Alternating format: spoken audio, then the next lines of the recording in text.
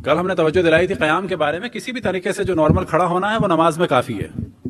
अपने ऊपर कोई ऐसा बोझ देने की ज़रूरत नहीं है, बाकी जो चीज़ें हैं, मुस्तहब है कि मर्दों की तीन उंगलियों का फासला होना चाहिए, जिससे क्या मुराद वाजिब नहीं है। बेहतर है इतना हो, ज़्यादा से ज़्यादा एक बालिश हो। पाँव सीधे हों, लेकिन इस तरह भी हों, कोई हर्ज नहीं है। वज़न दोनों पे बराबर हो, लेकिन अगर ऐसे भी खड़े हैं तो कोई हर्ज नहीं है। निगाह सिजदेगा की जाने वो ये बेहतर है, लेकिन अगर नहीं है, इधर देख रहे हैं तो भी हर्ज नहीं है। हाथ इस तरह से यहाँ पर हों, लेकिन अगर ऐसे भी हैं तो सही है। बाजू मिले हुए हों, लेकिन खुले हुए भी हैं तो सही हैं। कंधे झुके हुए हों, ऐसे भी खड़े हैं तो भी सही है। ये हम यूँ बता रहे हैं कि किसको थोड़े से मुस्तैद पता चल जाते हैं बराबर वालों को फिर टोकता है कि तुम्हारी नमाज़ खराब हो रही है। जब पता चल रहा है कि ना, उसकी सही है। टोकने से पहले पता होना चाहिए कि वाजिब क्या है और मुस्तहब क्या है और हराम क्या है। और टोकने में भी याद रखें कि टोकना बेजती के लिए या बड़ाई के लिए नहीं होना चाहिए। बस पता है कि अल्लाह का एक हमें हुक्म पता है तो उसको बड़े एहतराम से बता दें। तो ये तो था क़याम के बारे में इन ये और मौजूद चलते रहेंगे अगर ज़िंदगी रही नमाज़ का ये क़याम वाजिब है लिहाजा वो अफराद ये असा थी कि यहाँ पे लिहाजा वो अफराद के जो बैठ के नमाज़ पढ़ते हैं तो वो एक बात की जानब तवज्जो रहे कि जो चल सकता है और खड़ा हो सकता है उसको खड़े होके ही नमाज़ पढ़नी होगी खड़े होके रुकू सिजदे की बात नहीं हो रही अभी जो असल मौजू है वो ये है कि कभी भी अगर जान का खतरा हो, या दर्द शदीद हो, या बीमारी बढ़ने का खतरा हो तो फिर ये हमारे और अल्लाह के दरमियान है और बाज दफ़ा पे डॉक्टर की बात ही माननी चाहिए। बाज दफ़ा इंसान फिजिकली सही लगता है। हार्ट अटैक के बाद डॉक्टर और बाज लोगों को कहते हैं कि ये ज़मीन पे पाँव नहीं लगने चाहिए। तो यहाँ पर हमें अपने आप को खुद जज नहीं करना चाहिए इस जगह पर। मसलन डॉक्टर कह रहा है कि आपका ज़मीन पे खड़ा होना हार्ट अटैक का सबब हो सकता है तो फिर हमें नहीं खड़ा होना चाहिए। गो के हमें महसूस हो रहा है कि नहीं, मैं तो बहुत अच्छा हूँ। और बाज़ दफ़ा ऐसा हुआ है कि उन्होंने अपने आप को महसूस किया कि मैं बहुत अच्छा हूँ, एकदम से खड़े होकर ज़मीन पर बोझ डाला और पता चला अटैक हो गया। तो डॉक्टर की भी माननी है। लेकिन हाँ दर्द में, दर्द डॉक्टर को नज़र नहीं आ रहा। दर्द हमें भी नज़र नहीं आ रहा। हुक्म फ़िकी क्या है कि अगर शदीद दर्द होता है जो नाकाबिल बर्दाश्त है तो फिर आप इस चीज़ को छोड़ दें। यानी रुकू और सजदे को या क़्याम को छोड़ दें। बस एक आदमी बाहिर अच्छा लग रहा है, लेकिन वो खड़ा ही नहीं हो सकता। तो फिर वो बैठ के नमाज़ पढ़ेगा। लेकिन वो लोग जो चलते हैं, फिरते हैं, खड़े होते हैं, वो नमाज़ खड़े होके पढ़ेंगे। अब फ़र्ज़ कर लें कि वो रुकू नहीं कर सकते। उनका स्पाइनल कॉर्ड का प्रॉब्लम है, या गले का प्रॉब्लम है, वो रुकू नहीं कर सकते। बाहिर सेहतमंद लग रहे हैं। वो जाने, उसका अल्लाह जाने। वो कहता है, जी, एक शदीद दर्द होता है रुकू से। एक वजह। दूसरी वजह यह है कि डॉक्टर ने बताया है कि, जी, ये मोहरे मजीद खराब हो जाएँगे अगर झुके तो ये क्या है? कि एक उज्व ज़ाया होने का ख़तरा है या शदीद बीमार होने का ख़तरा है। तो ऐसे आदमी को भी रुकू नहीं करना है। इसी तरीके से वो सजदा नहीं कर सकता। या शदीद दर्द है, या बीमारी बढ़ जाएगी। बस वो रुकू सजदा नहीं करेगा, लेकिन खड़े होकर नमाज़ पढ़ेगा।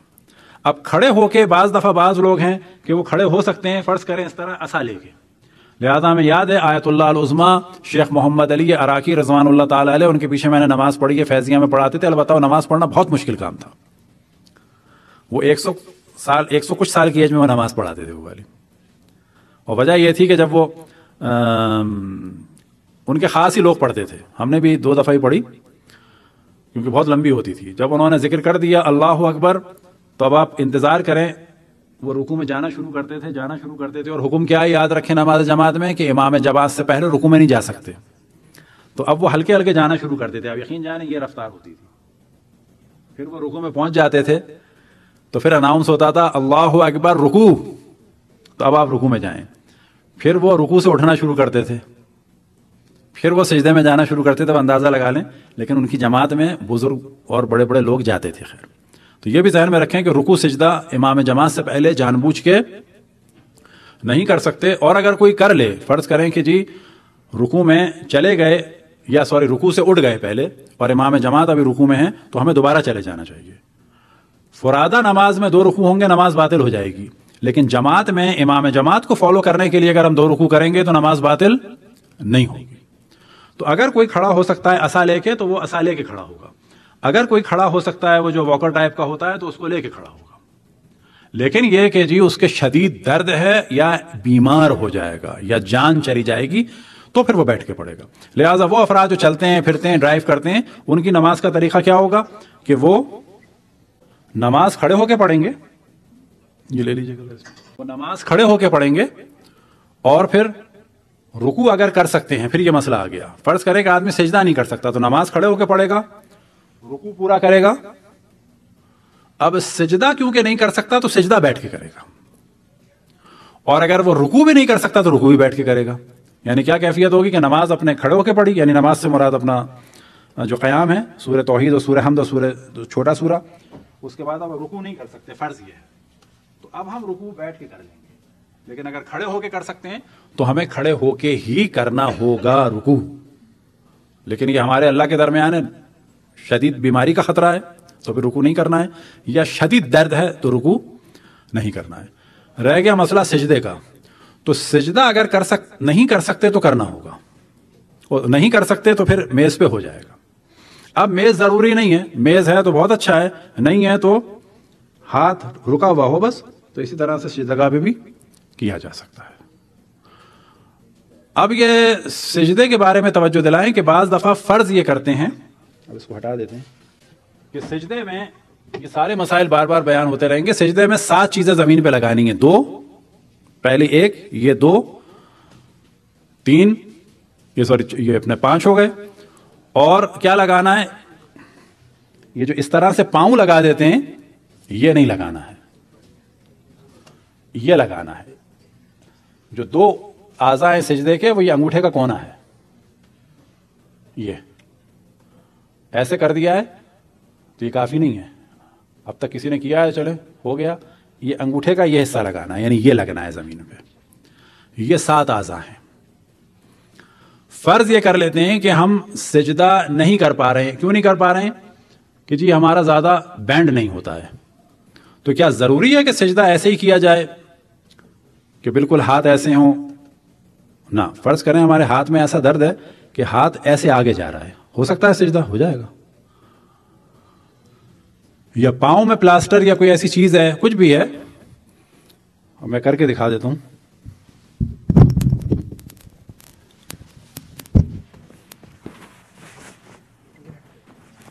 फ़र्ज़ ये कर लें कि ये तो सही हो गया सजदा। हम ऐसे कर रहे हैं सजदा। टांग में हमारे यहाँ ऐसा दर्द है, घुटना भी लग रहा है, अंगूठा भी लग रहा है। कोई दर्द नहीं है, कोई बीमारी का खतरा नहीं है। तो मैं ऐसे करना होगा। आप फ़र्ज़ कर लेते हैं कि अब टांग में प्रॉब्लम है, उठ सकते हैं, उठ गए नहीं है या बीमारी बढ़ने का खतरा है तो फिर ये सारी चीज़ें हैं। अब होता क्या है कि लोगों के जहन में ये होता है कि सिजदा हमें ऐसे ही करना है। बिल्कुल बैलेंस, दो हाथ यहाँ, दो घुटने यहाँ, दो अंगूठे वहाँ। नो, हल्का सुमा निकल गया, कोई हर्ज नहीं है। लेकिन ये जहन में रहे कि आपको इल्म है कि ये बीमारी बढ़ जाएगी तो ना करें। आपको इतना शदीद दर्द है कि नाकाबिल बर्दाश्त है कि नमाज़ में चीखें निकल जाएँ तो भी फिर ये इस तरीके से जो प्रॉपर वे में सजदा है, ये खुद ब खुद ख़त्म हो जाएगा। एक हल्का सा मसला तशद के बारे में बता देते हैं, बाद में सिलसिले चलते रहेंगे। फ़िलहाल हमारा ज़्यादा फोकस बीमारों के हवाले से था। तशद के बारे में भी आम तौर पर हम लोग ऐसे बैठते हैं। अब लोग समझते हैं यही बैठना ज़रूरी है। खैर जो मुस्तहब है, याद रखें, वो ये तरीका है। और ये वाखन मुश्किल है।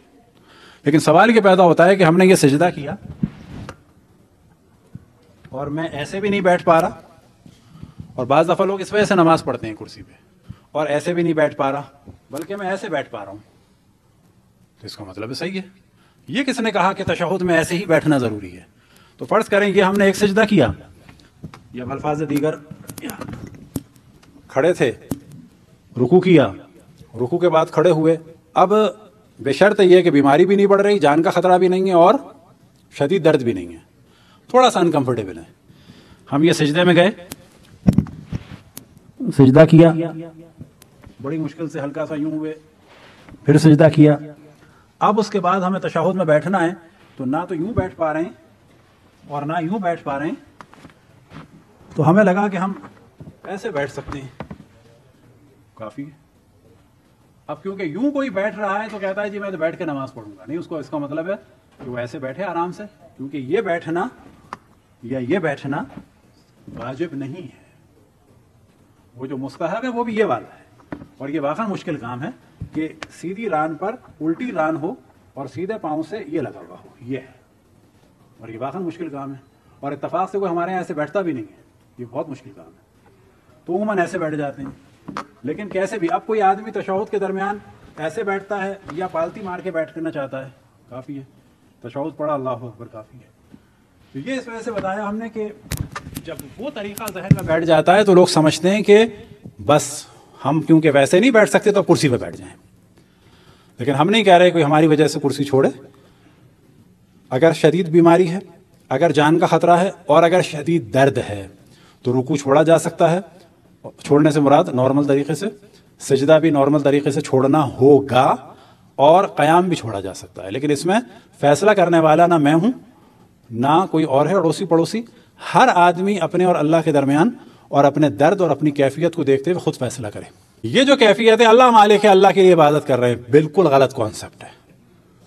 अपने आप को खतरे में डालना, अल्लाह मालिक है, अल्लाह के लिए इबादत कर रहे हैं। बिल्कुल ये काम जायज़ नहीं है। रोज़े के हवाले से एक सवाल हुआ है शुगर का। जिनका शुगर लेवल कम हो जाता है, वो रोज़े नहीं रख सकते। खसूस ये कि अगर ज़ाहिर के बड़ा ख़तरा हो, लेकिन हर आदमी जानता है कि कब कितनी शुगर होती है, किस मौसम में कितनी शुगर होती है।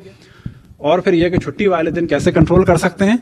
तो अब अगर छुट्टी वाले दिन घर में रहकर उनकी शुगर सही रहती है तो उस दिन वो रोज़ा रखेंगे। लेकिन ये सब उन पर डिपेंड करता है कि ना हमें पूछना चाहिए किसी से और ना किसी को हमें बताना चाहिए। वो जाने, अल्लाह जाने, उसकी इबादत जाने।